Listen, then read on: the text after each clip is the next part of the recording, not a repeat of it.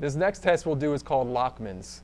This is a great test for testing the anterior cruciate ligament of the knee. What we do here is you can either do this lying down or seated at the side of the uh, table. I find it a little bit easier and more convenient to do at the side of the table. You would want the patient to come from a 90 degree to a 30, 20 to 30 degree amount of uh, knee flexion. And you really need to stabilize the bottom of the knee and the femur so that you can try to bring the uh, proximal tibia anteriorly. You're stressing that uh, ACL. So what, again, what we'll do is bring the knee into 30 degree, 20 to 30 degrees of flexion.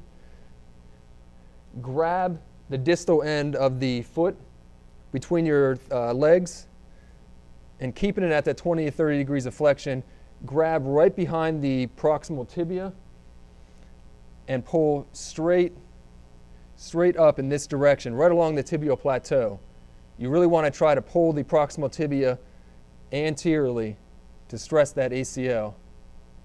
Now, if the patient's sliding down uh, uh, along the table, you're going to have to support the uh, distal femur with one hand while pulling up with the other one.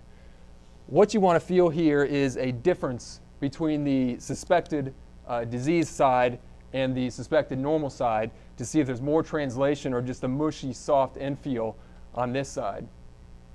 Again, this is called Lachman's, and it tests the ACL of the knee.